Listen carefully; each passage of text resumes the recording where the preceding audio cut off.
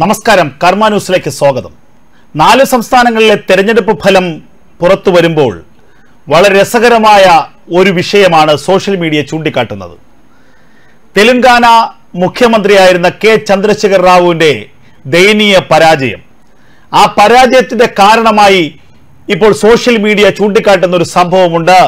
കേരളത്തിന്റെ മുഖ്യമന്ത്രി ഇരട്ടച്ചങ്കനായ പിണറായി വിജയനെ കൂട്ടുപിടിച്ചായിരുന്നു തെരഞ്ഞെടുപ്പിന് തൊട്ടു മുമ്പ് വലിയൊരു ദേശീയ ബദലിന് ചന്ദ്രശേഖർ റാവു ശ്രമിച്ചത്.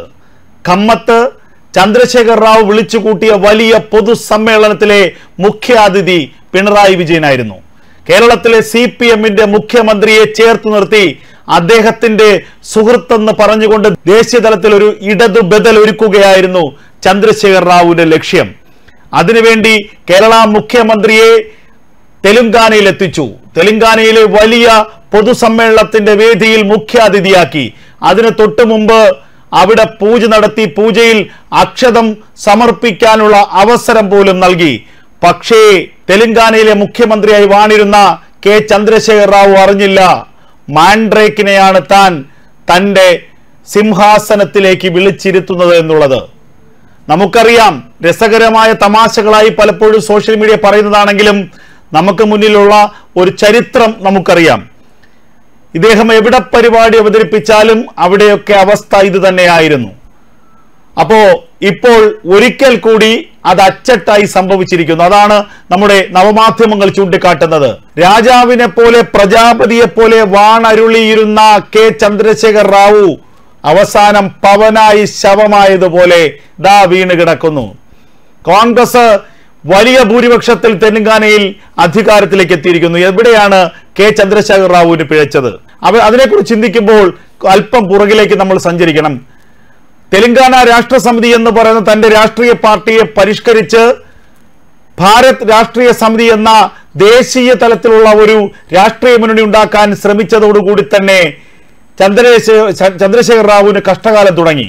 ആ മുന്നണിയിലേക്ക് പ്രധാനപ്പെട്ട നേതാവായി കേരളത്തിന്റെ മുഖ്യമന്ത്രിയായ പിണറായി വിജയനെ ക്ഷണിച്ചു വരുത്തി കസേരയിലിരുത്തി ആദരിച്ചതോടുകൂടി കഷ്ടകാലം അതിന്റെ അങ്ങേ അറ്റത്തേക്കെത്തി. ഒടുവിലിത കയ്യിലിരുന്ന മുഖ്യമന്ത്രി കസേര പോലും നഷ്ടമായിരിക്കുന്നു. മുഖ്യമന്ത്രി പിണറായി വിജയനെയും അരവിന്ദ് കെജ്രിവാളിനെയും അതുപോലെ പഞ്ചാബ് മുഖ്യമന്ത്രിയുമൊക്കെ വിളിച്ച് സ്വന്തം നാട്ടിൽ കൊണ്ടുവന്ന് പണ്ടൊരു കമ്മ്യൂണിസ്റ്റ് കോട്ടയായിരുന്ന തെലുങ്കാനയിലെ ജനങ്ങളുടെ മനസ്സിളക്കാമെന്ന് വ്യാമോഹിച്ച ആളാണ് കെ ചന്ദ്രശേഖർ റാവു. പിണറായിയെ പോലെയുള്ള ഒരു മുഖ്യമന്ത്രി കമ്മ്യൂണിസ്റ്റ് മുഖ്യമന്ത്രി ആ മുഖ്യമന്ത്രി വന്ന് തെലുങ്കാനയിൽ ഇറങ്ങി ജനങ്ങളോട് സംസാരിച്ചാൽ സിരകളിൽ കമ്മ്യൂണിസം ഒഴുകിയിരുന്ന ഒരു ജനത വോട്ടുകൊണ്ട് തന്നെ മൂടുമെന്ന് ഈ ചന്ദ്രശേഖർ റാവു വ്യാമോഹിച്ചു. ഒടുവിൽ ചന്ദ്രശേഖർ റാവുവിന് കിട്ടിയ വോട്ട് പോലുമില്ല. ജനം ചന്ദ്രശേഖർ റാവുവിനെ പുറങ്കാൽ അടിച്ച് പുറത്താക്കി. അതിന് കാരണം മറ്റൊന്നുമല്ല നമ്മുടെ ഇരട്ടച്ചങ്കനായ മാൻഡ്രേക്കിനെ കൊണ്ടുപോയി എന്ന ഒറ്റ കാരണം മതി. ജനങ്ങൾ അവിടെ നിന്ന് കെ ചന്ദ്രശേഖർ റാവുവിനെ പുറങ്കാലുകൊണ്ട് തൊഴിച്ചു പുറത്താക്കി. ദേശീയ തലത്തിൽ വലിയ ഒരു ബദലിനായിരുന്നു കെ ചന്ദ്രശേഖർ റാവു ശ്രമിച്ചത്. അതായത് തെലങ്കാനയിലെ മുഖ്യമന്ത്രി പദത്തിൽ നിന്ന് ഒരു അവസരം കിട്ടിയാൽ രാജ്യത്തിന്റെ പ്രധാനമന്ത്രി പദത്തിലേക്ക് അവരോധിക്കപ്പെടാൻ ആഗ്രഹിച്ച ദുരാഗ്രഹിയായ ഒരു രാഷ്ട്രീയ നേതാവിന്റെ ചരിത്രപരമായ പതനമാണ് ചന്ദ്രശേഖർ റാവുവിന്റെ തോൽവിയിലൂടെ പരാജയപ്പെടലിലൂടെ നമുക്ക് കാണാനാവുക. അതിന് അദ്ദേഹം കണ്ടുപിടിച്ച വഴികൾ വലിയ ദുരൂഹതകൾ നിറഞ്ഞതും കുറുക്കു വഴികളുമായിരുന്നു. കേരളത്തിലെ മുഖ്യമന്ത്രി പിണറായി വിജയൻ ആ, നമ്മുടെ പശ്ചിമ ബംഗാൾ മുഖ്യമന്ത്രി മമതാ ബാനർജി അതുപോലെ അഖിലേഷ് യാദവ് അതുപോലെ അരവിന്ദ് കെജ്രിവാൾ പഞ്ചാബ് മുഖ്യമന്ത്രി ഇങ്ങനെ കോൺഗ്രസ് ഇതര ബി ജെ പി ഇതര രാഷ്ട്രീയ നേതാക്കളെ എല്ലാം തന്നെ കോർത്തിണക്കിക്കൊണ്ട് ഒരു ദേശീയ ബദൽ ഉണ്ടാക്കുകയും ആ ബദലിന്റെ നേതാവായി കൊണ്ട് വരും കാലത്ത് ഒരു മൂന്നാം മുന്നണി രാജ്യത്ത് അധികാരത്തിലെത്തിക്കുകയാണെങ്കിൽ ആ അധികാര കസേരയിൽ പ്രധാനമന്ത്രി പദത്തിലിരിക്കുകയും ചെയ്യുക എന്ന വലിയ ആഗ്രഹം മനസ്സിൽ കൊണ്ട് നടന്ന ആളായിരുന്നു കെ ചന്ദ്രശേഖർ റാവു. അതിനുവേണ്ടിയാണ് അദ്ദേഹം ബി ആർ എസ് എന്ന് പറയുന്ന ഭാരത് രാഷ്ട്രീയ സമിതി എന്ന് പറയുന്ന ഒരു പ്രസ്ഥാനം രൂപപ്പെടുത്തിയത്.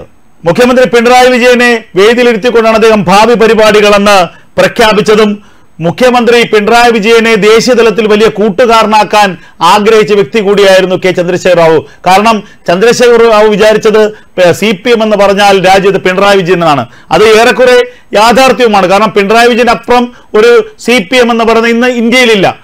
കാരണം ബാക്കി സംസ്ഥാനങ്ങളിലും തന്നെ പേരിന് മാത്രം ആണ് സി പി എം ഉള്ളത്. കേരളത്തിൽ മാത്രമാണ് അധികാരമുള്ളത്. അത് മാത്രവുമല്ല ദേശീയ തലത്തിൽ പാർട്ടി ഓഫീസിന് ദൈനംദിന പ്രവർത്തനം നടന്നു പോകണമെങ്കിൽ പോലും പൈസ കൊടുക്കേണ്ടത് കേരളത്തിൽ നിന്നുള്ള ഈ സർക്കാരാണ്. ടി ആർ എസ് എന്ന സ്വന്തം പാർട്ടിയെ ബി ആർ എസ് ആക്കിയ ചന്ദ്രശേഖർ റാവുവിന് ജനം തക്കതായി തിരിച്ചു നൽകിയിരിക്കുന്നു. ബി ആർ എസ് ആയി പാർട്ടിയെ രൂപാന്തരപ്പെടുത്തിയതിനു ശേഷമുള്ള ആദ്യ തെരഞ്ഞെടുപ്പിൽ ജനം ചന്ദ്രശേഖർ റാവുവിനെ തിരസ്കരിച്ചിരിക്കുന്നു എന്ന ഏറ്റവും വലിയ തെളിവാണ് ഇപ്പോൾ തെലങ്കാനയിൽ നിന്ന് കാണാനാകുന്നത്. ഒരു കാലത്ത് ഇടതു പാർട്ടികളുടെ ശക്തി ദുർഗമായിരുന്ന തെലങ്കാനയിൽ പിണറായി വിജയനെയും ഡി രാജയെയും റാലിയിലേക്ക് ക്ഷണിച്ച പുതിയൊരു മാറ്റത്തിന് തുടക്കമിടുകയായിരുന്നു കെ ചന്ദ്രശേഖർ റാവു. പിണറായി വിജയൻ ഡി രാജ അടക്കമുള്ള ഇടത് നേതാക്കളെ കൊണ്ടുവന്നാൽ തെലങ്കാനയുടെ പഴയ ഇടതു മനസ്സ് വീണ്ടും ഉണർന്നെണീക്കുമെന്നും അതിലൂടെ തനിക്ക് വലിയ വിജയം നേടാമെന്നുമുള്ള വ്യാമോഹമായിരുന്നു ചന്ദ്രശേഖർ റാവുവിനുണ്ടായിരുന്നത് എന്നാൽ ആ ഇടത് മനസ്സുകളൊന്നും പഴയ ജനങ്ങൾക്കില്ലെന്നും കേരളത്തിൽ മാത്രമാണ് പിണറായി എന്ന് പറയുന്ന ഈ സി പി എം നേതാവിന് പിന്തുണയുള്ളതെന്നും കേരളത്തിന്റെ അതിർത്തി കഴിഞ്ഞാൽ ഈ നേതാവിനെ ഈ മുഖ്യമന്ത്രിയെ ആർക്കും ഒരു വിലയില്ലെന്നും തിരിച്ചറിഞ്ഞ ഒരു തെരഞ്ഞെടുപ്പ് കൂടിയാണിത്. സി പി എമ്മിലെ പിണറായി വിജയനെയും സി പി ഐയിലെ ഡി രാജയെയും കൂട്ടുപിടിച്ച കെ ചന്ദ്രശേഖർ റാവുവിന് സ്വന്തം നാട്ടിലെ കർഷക തൊഴിലാളികൾ പോലും വോട്ട് നൽകിയില്ല എന്നുള്ളതാണ് യാഥാർത്ഥ്യം. സി പി എമ്മിന് തെലുങ്കാനയിൽ അത് മാത്രവുമല്ല കൊട്ടിഘോഷിച്ചു കൊണ്ടുവന്ന പിണറായി വിജയന്റെ സി പി എമ്മിന് തെലുങ്കാനയിൽ പേരിനൊരു സീറ്റ് പോലും കിട്ടിയില്ല എന്നുള്ളത് യാഥാർത്ഥ്യവും കൗതുകവുമായി. അതേസമയം സി പി ഐക്ക് പേരിന് ഒരു സീറ്റെങ്കിലും അവിടെ ലഭിച്ചു എന്നുള്ളതാണ് വിരോധാഭാസം.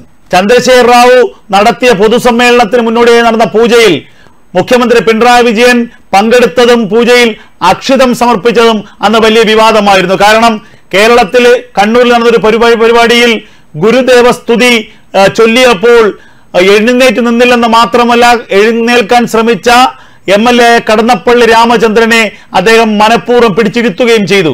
ഇത് ഗുരുദേവനോടുള്ള ഒരു വലിയ അവഹേളനമായിട്ടായിരുന്നു അന്ന് പ്രതിപക്ഷം അടക്കം അന്ന് വ്യക്തമാക്കിയത് കേരളത്തിലെ പൊതുസമൂഹത്തിൽ വലിയ വിവാദങ്ങൾക്ക് ഇതിടയാക്കുകയും ചെയ്തു. എന്തായാലും പിണറായി വിജയൻ ആയതുകൊണ്ട് തന്നെ വലിയ പ്രതിഷേധത്തിന് കേരളത്തിലെ ഈഴവ സമുദായം തയ്യാറായില്ല. ബി ജെ പിയും കോൺഗ്രസും ചില ആക്ഷേപങ്ങൾ ചൊരിഞ്ഞു എന്നതിനപ്പുറം ആകപ്പാട് അക്കാര്യത്തിൽ വ്യക്തമായൊരു നിലപാട് സ്വീകരിച്ചത് ശിവഗിരി മഠം മാത്രമായിരുന്നു. എസ് എൻ ഡി പി എന്ന് പറയുന്ന സംഘടന പിണറായി വിജയന് മുമ്പിൽ വാലാട്ടി നിന്നു എന്നുള്ളതാണ് യാഥാർത്ഥ്യം. എന്നാൽ അത് കേരളത്തിൽ ഉണ്ടാക്കിയ കേരളത്തിൽ നൽകിയ ഒരു മെസ്സേജ് എന്ന് പറയുന്നത് തെറ്റാണ്. കാരണം കേരളത്തിൽ മാത്രമാണ് ഹൈന്ദവ ആചാരങ്ങളോട് ഈ പിണറായി വിജയനും കമ്മ്യൂണിസ്റ്റ് നേതാക്കൾ ഇത്രത്തോളം അവഹേളനം കാണിക്കുന്നത്. കേരളത്തിൽ പുറത്തേക്ക് പോയി കഴിഞ്ഞാൽ അവിടെ ഹൈന്ദവ ആചാരങ്ങളായാലും ഏത് മതാചാരങ്ങളായാലും അതിനെ അവഹേളിച്ചാൽ അവിടുത്തെ ജനങ്ങൾ തിരിച്ചടി നൽകും.